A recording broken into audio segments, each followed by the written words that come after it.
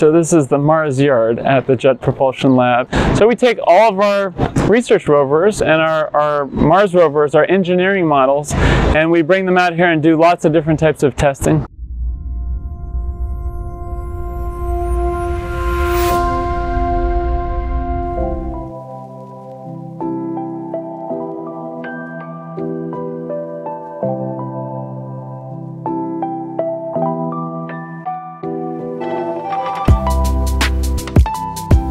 This is a complete duplicate, complete copy of the rover that's on Mars.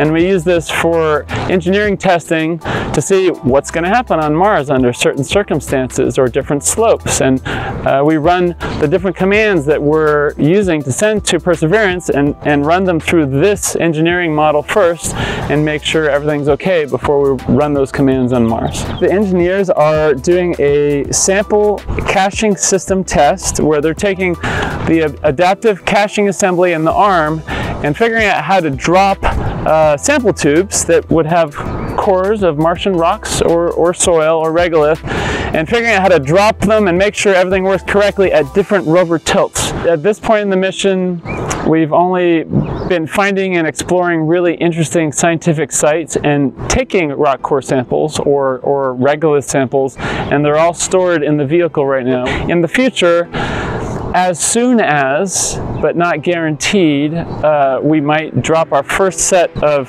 samples as a cache in about six months, nine months from now to be picked up by a future rover and or, or, or other system and brought back to the uh, return Mars Ascent Vehicle to be launched into orbit and then uh, docked with uh, an orbiting spacecraft and brought back to Earth.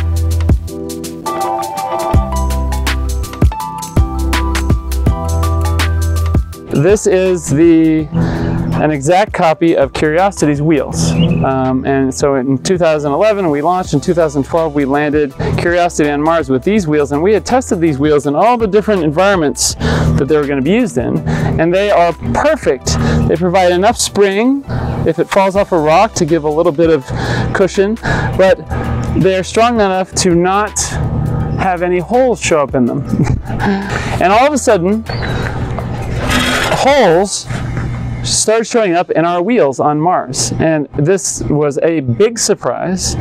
And uh, I'll, I'll, say our first um, failure of engineering imagination.